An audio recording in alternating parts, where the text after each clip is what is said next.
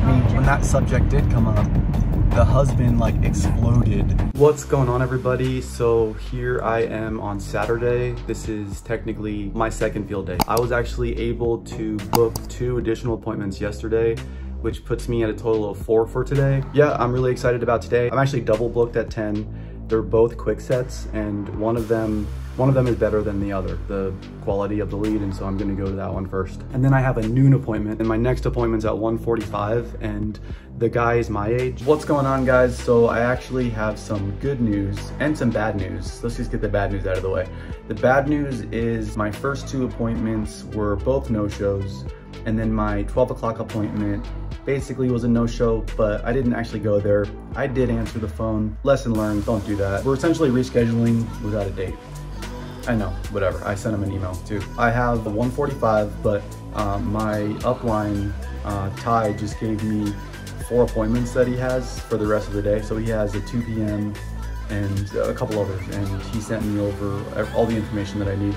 So it's about 1.05 right now, and I'm going to, I'm getting ready to head out uh, to the first one. Uh, yeah, so I really appreciate that. That was definitely a surprise. I wasn't expecting that. What's going on guys? So this uh, uh first appointment at 2 p.m.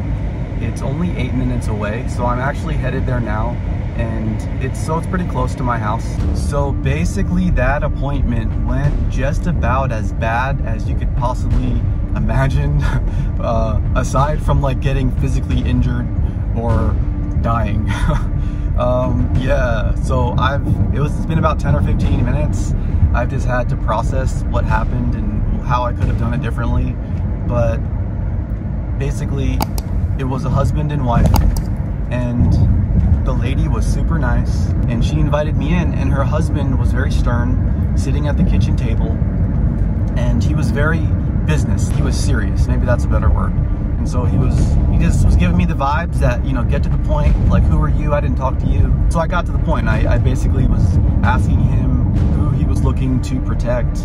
He had talked to Ty about something completely different. I hadn't even gotten to um, asking about kids. And when I when that subject did come up, the husband like exploded uh, on the wife and kind of at me. I don't think I did a good enough job of painting the picture of what we were doing and where that was going. I really do need to do the training. I'm, I'm glad that I got to these appointments. What's going on everybody? So I just sold a policy that's uh, $2,400 in annual premium, which is my second sale and my biggest sale.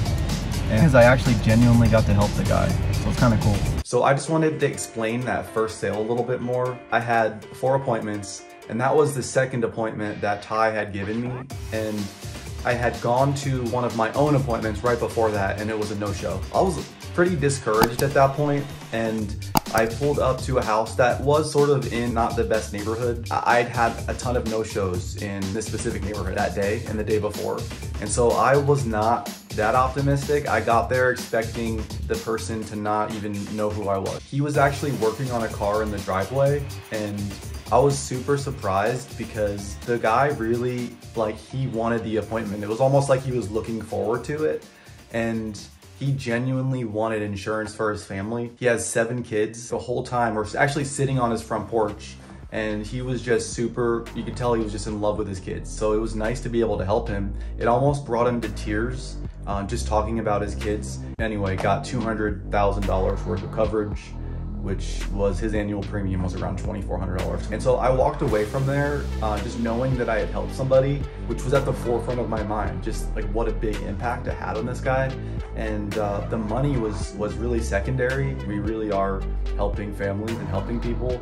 And it's just weeding out all of the bad appointments, like the one right before that, to find the people that you're actually supposed to help and they're, they're thankful that you're there to, to help them. It's kind of opposite from what I've been programmed society, like we should just go after money. But I feel like if we go after helping people and serving them, the money just will come. Like God will provide the money. So it's like being selfless and helping others but at the same time you're getting something out of it and you can make a lot of money doing this. And uh, the sun is definitely in my eyes, I don't like it.